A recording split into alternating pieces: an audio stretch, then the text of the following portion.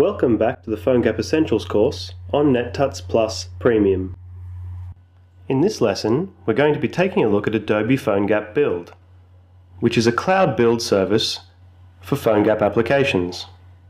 In a previous lesson, I spoke about Adobe's business model regarding PhoneGap. Cordova, which is the open source core of PhoneGap, will always be open source and free to use. Adobe then offers tools and services surrounding Cordova under the name of PhoneGap.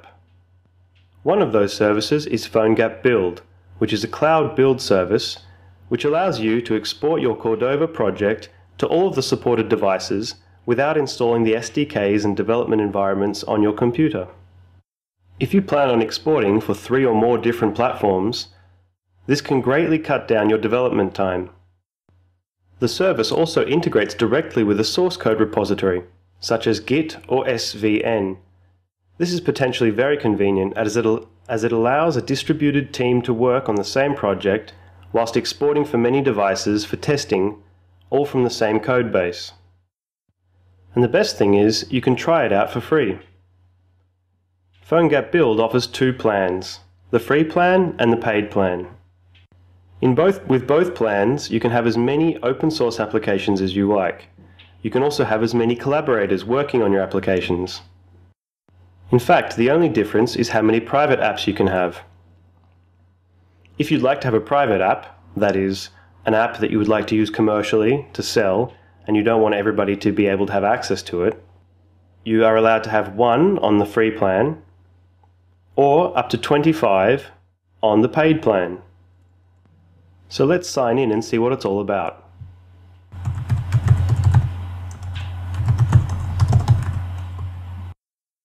Once you sign in, you'll be shown a page with all of your current applications. Applications can either be uploaded as a zip folder,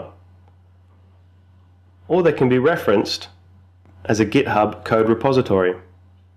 This app here, the PhoneGap Getting Started app, is actually an open source app. I didn't make it, I just referenced the GitHub page. Let's go to the code repository and have a look at the anatomy of a PhoneGap build application. This PhoneGap Getting Started app is actually just a modified version of the default application that you get when you use the create command. Unlike the default application, this application consists only of the www folder. The key difference you'll find is the config.xml file. This contains all the settings that Adobe PhoneGap Build needs to create your applications.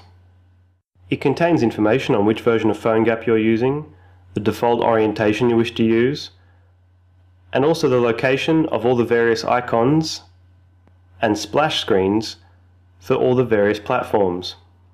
You'll notice in the resources folder, rather than just having icons for one platform, we have the icons for all of them. This particular Getting Started package is very useful in this respect, as you don't need to research and find out which icon size you need for BlackBerry versus which icon sizes you need for iOS. It also contains all of the different splash screens for all the different platforms. As you can see there are many different sizes for Android, whereas Bada only has one. I'm going to download this project as a zip folder so that we can go through the process of creating a new application on PhoneGap Build. From the PhoneGap Build start page, simply click on Add New App. We can now upload our zip file and the project is added to our apps.